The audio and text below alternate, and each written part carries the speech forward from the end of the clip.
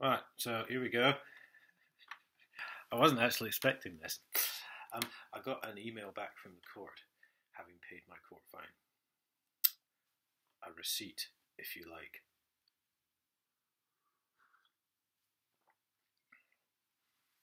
Which is fine for one thing, they certainly can't deny getting it in time now. Um, so I'm just going to minimize the uh, camera screen to read this email. I really don't have access to a printer at the moment. Um, so again, it's not that I'm not looking at you. I'm trying to read this email. Um, in fact, no, I'm not. Yes, I am. I need to get the email up. Right, so that's done. There we go. Right. Confirmation of your order placed with Cambridgeshire 005 Web. Now that was the, the reference thing, if you like, to send it to the court. And it does actually come up with do not respond at justice.gsi.gov.uk. My order has been accepted. My order. What did I order, I wonder? Um, please retain this receipt for your records. This email confirms your order placed with Cambridge 005 Web.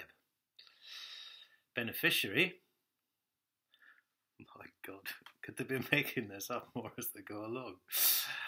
I suspect beneficiary again is implying that I'm some sort of willing participant. Um, the beneficiary is the Courthouse, Bridge Street, Peterborough. Uh, postcode's PE11ED.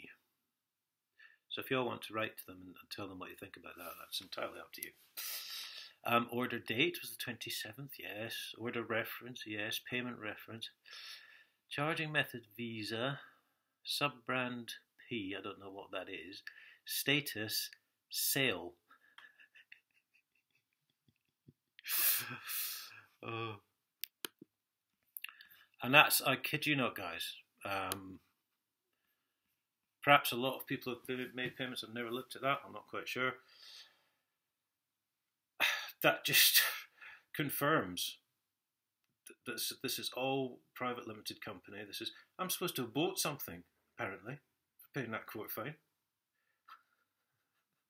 It's incredible. So that I mean that to me just confirms this is all private limited company, and it's all supposed to be willingly turning up in court. But of course, this isn't happening now because more and more people are realizing what's going on. So, of course, people are being frog marched into court, so it's not willingly at all.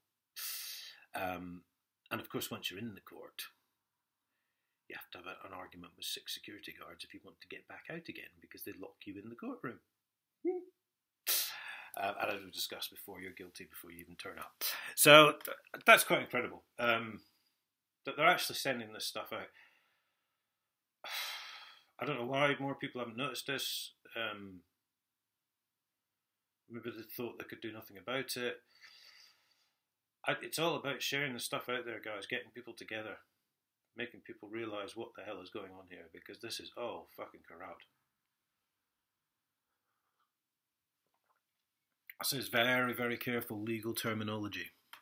They're the beneficiary. You know, they're not the recipient or the the payee or whatever it is um, or the debtor or anything like that. There's, there's nothing there to suggest that that money has not been handed over in anything other than good faith for a product, apparently. so, um, if I don't receive my product by, I say the 5th of January, let's be generous. I'll, uh, I'll start having it done under trading standards laws because obviously I'm not happy with the product I've received. Thank you very much.